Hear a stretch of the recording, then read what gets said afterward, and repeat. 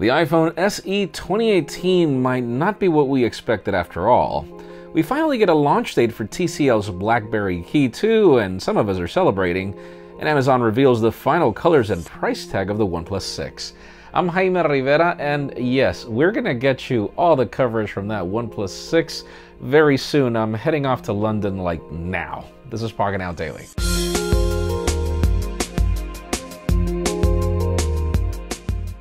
The official news today begin with deals. Uh, obviously, we were waiting for a more affordable MacBook Air, which didn't happen.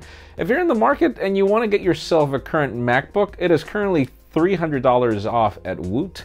Uh, obviously, it depends on the variant and what you're looking for, but it's starting at a thousand bucks. You can learn more in the description. Definitely worth it. So it seems that Amazon already spilled the beans on the OnePlus 6. We're just about to get there, so obviously we'll get you the official details. But according to Amazon, rumors are pointing to a price tag of around 520 something bucks. $50 more depending on the tier that you're looking for. We've got information on the color variants, and apparently the launch date is going to be May 22nd, which is really close. Uh, I'm really looking forward to this device.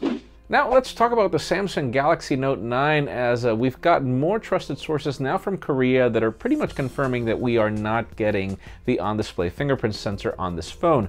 Apparently the main reason why is because uh, the company is using this ultrasonic sensor, which we've already seen in other products, and uh, apparently there are challenges in being able to mass produce. And it makes all the sense in the world. I mean, Samsung has been pretty much following that scheme of we're going to leave the flagship things for the Galaxy S, and then we're just going to add a couple of extra things to the Galaxy Note.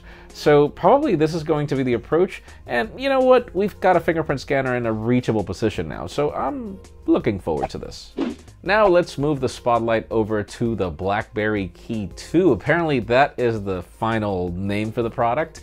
It was codenamed Athena, I believe, and uh, we hear that uh, the event is going to happen on June 7th. This is official from BlackBerry, by the way.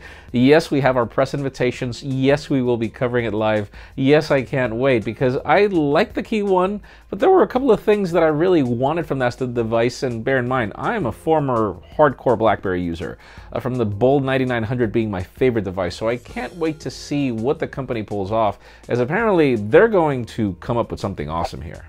And finally, the most interesting news today have to do with the iPhone SE2, as, uh, okay, I'm going to call these rumors probably bogus, but bear with me here, as uh, we've got some rumors that say on one end that, uh, you know, and from case makers, that the design is going to be this uh, glass on glass, but with the iPhone uh, SE design and a notch and everything. But then this source from Japan is saying, no, it's not going to happen in Q2.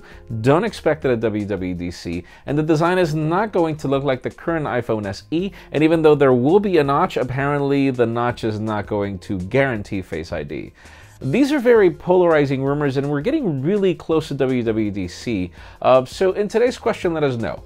If you had to pick, would you prefer the iPhone SE design with all display and glass, or would you prefer some other design?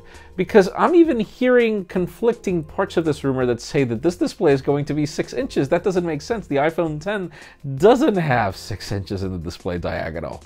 Leave us a comment down below. I would prefer the iPhone SE design to stick a little longer with an all-display design, but that's just me.